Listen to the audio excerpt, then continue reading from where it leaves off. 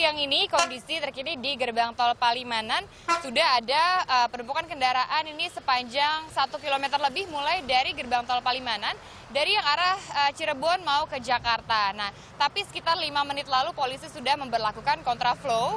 Ini jaraknya sekitar 1 km dari gerbang tol Palimanan 1 km sampai di kilometer 188.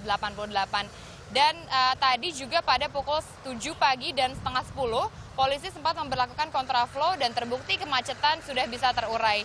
Jika kepadatan ini uh, sampai panjang di satu pintu tol sebelum Palimanan yaitu di gerbang tol Plumbon, maka kendaraan akan dialihkan untuk keluar di sana.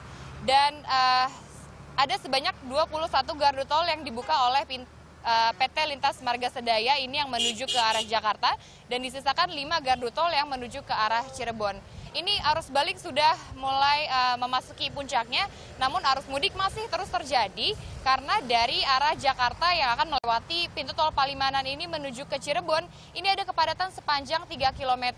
Jika kepadatannya semakin panjang, maka nanti kendaraan tidak bisa keluar di pintu tol Palimanan, tapi akan dialihkan keluar di satu pintu tol sebelum Palimanan, yaitu di Sumberjaya dan melewati jalur Pantura. Kondisi terkini di uh, exit tol Brebes Timur ini masih lancar, namun pagi sempat terjadi kepadatan dari arah Tegal sampai di pertigaan uh, Brebes Timur.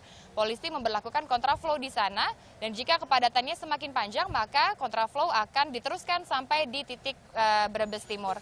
Untuk di jalur Pantura juga volume uh, peningkatan kendaraan sudah ada sebanyak 20 persen dibandingkan dengan hari kemarin dan didominasi oleh uh, roda 2 dan juga roda 4. Di sana sempat terjadi uh, kemacetan sepanjang 3 km, namun polisi memperlakukan rekayasa traffic light atau lampu lalu lintas.